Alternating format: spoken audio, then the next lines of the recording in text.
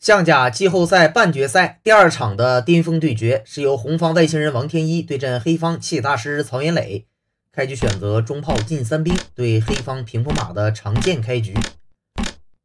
红方五七炮，黑方选择外马封车，红方横车。黑方这里先飞个象，王天一车九平六之后，曹岩磊选择踩兵抓炮抢一个先手之后再选择高车。红方车二进六，压缩黑方的空间。黑方先补士固防，此时王天一走车六进二，非常的含蓄。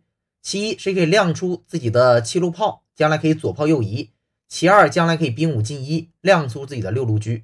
黑方赶快平炮要对，红方接受之后再选择甩炮过来，也是计划当中的下法，瞄住了对方的底马。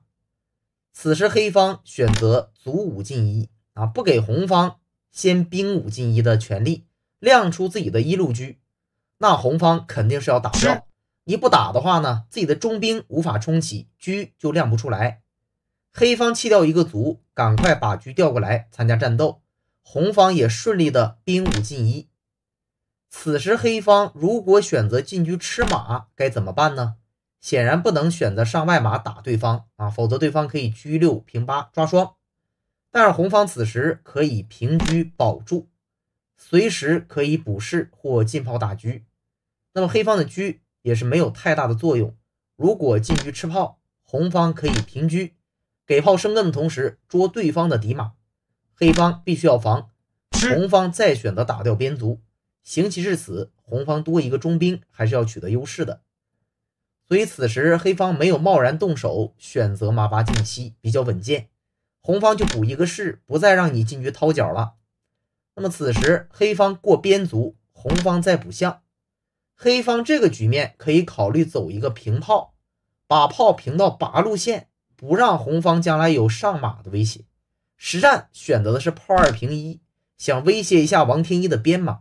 那么红方顺势把马跳回，黑方也没有什么进攻点，有些空招的嫌疑。此时黑方横卒，红方终于可以跳起外马发动攻势。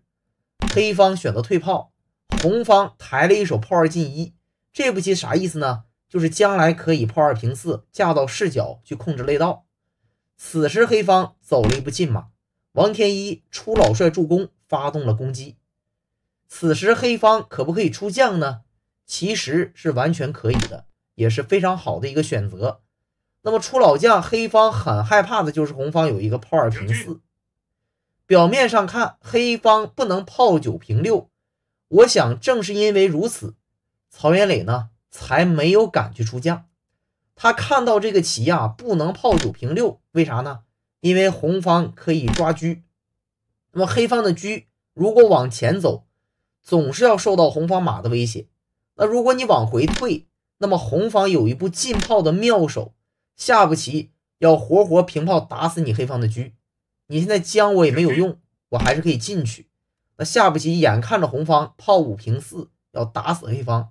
黑方很难招架，所以黑方啊看到这个局面不能平炮，所以没敢出。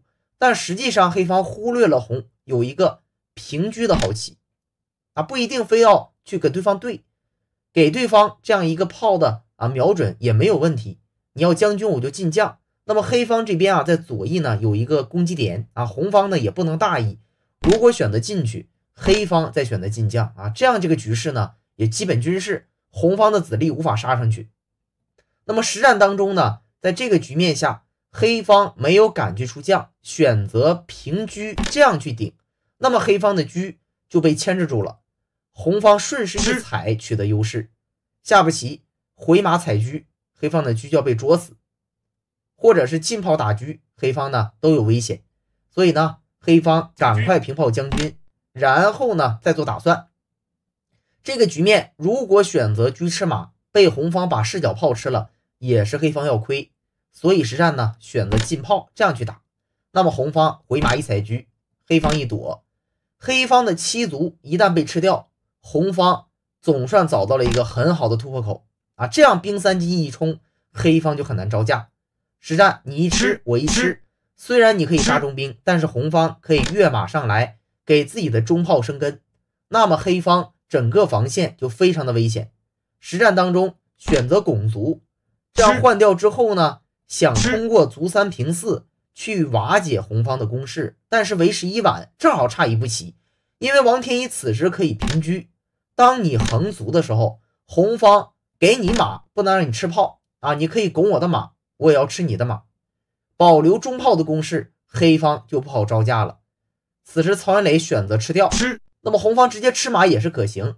实战王天一走了一步进炮的妙手，那么你黑方恰好不敢踩，否则我杀象就是杀棋，你只能飞边象。这样的红方吃三进一吃，下步棋要车三进二形成杀棋。黑方走到这里啊，出了一个老将啊，也就投子认负了。因为红方呢随便将一将，可以简单吃炮，取得多子的优势。曹元磊一看呢，少一个大子，没有任何的攻势，面对王天一。没有什么太多的机会了，就只能选择投子认负。王天一凭借这盘胜利，也是带领杭州队成功杀入了2023年象甲的决赛。